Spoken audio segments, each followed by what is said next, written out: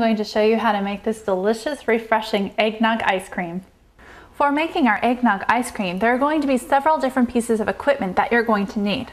First, you'll need a small saucepan in order to heat up the milk and the eggs in making your custard. Secondly, you'll need lots of bowls. Now the bowls are for various things such as separating your eggs. You want to make sure you have a couple of different bowls for that. Um, and also you'll need bowls for mixing up your custard in. It's great to have some stacking bowls because you'll want to cool your custard off a little bit before putting in the refrigerator to cool completely. So if you have stacking bowls, then it'll be a lot easier for putting the custard into an ice bath. You'll also need some measuring cups and measuring spoons for measuring out all of your ingredients. You'll need a strainer because after we cook our custard, we'll need to strain it.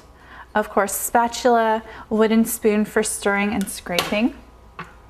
You'll also need a container to put your egg whites in because we will only be using the yolks for making our ice cream.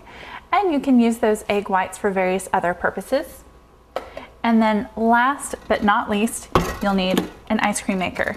And a little bit later on, I'll talk about different ice cream makers, but just be safe to know that you will definitely need an ice cream maker for making your eggnog ice cream.